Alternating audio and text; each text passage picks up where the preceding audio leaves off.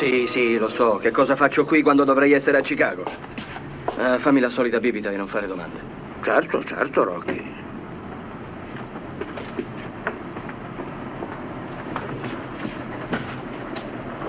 Lascia perdere l'elenco telefonico, non ci sono che nomi dall'A alla Z. Una barba.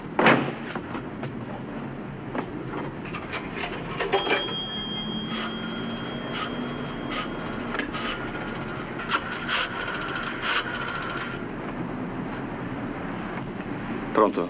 Franchi Peppo, prego.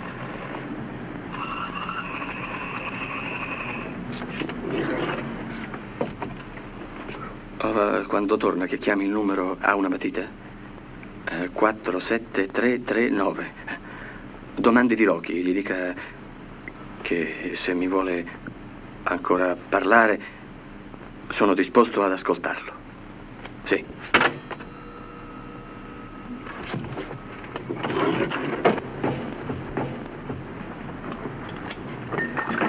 Non sai quanto sono contento di vederti, Rocky. Ah, sì, sì, sì, dammi qua.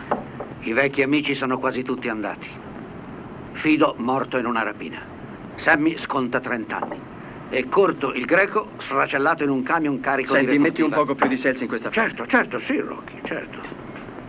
E Frenchy, condannato a vita. Te lo rammenti, Frenchy?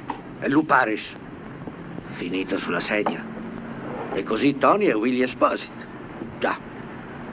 C'è un silenzio qui certe sere che senti il gelato che si Ma squaglia. ce ne sarebbe anche di più di silenzio se tu chiudessi il becco.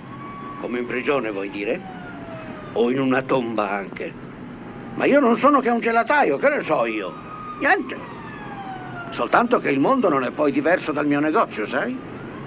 Uno entra, si siede al banco e chiede un gelato. Gli do il gelato e lui se lo ingoia. Gli dico quant'è? Eh, lo deve pagare. Di fuori è lo stesso. Chi vuole un gelato deve essere disposto a pagarlo. Se commetti uno sbaglio devi essere pronto a scontarlo. Questa è la verità, capisci? Ma a molti non gli ci entra in testa. Sputano fuoco al momento di pagare. Io perché gridano? Per cosa? Per il gelato. Ecco per che cosa. Non puoi averlo il gelato se poi non sei pronto a pagarlo. Rocky, Se cercassero di me, digli che richiamo io. dove vai ora, Rocky?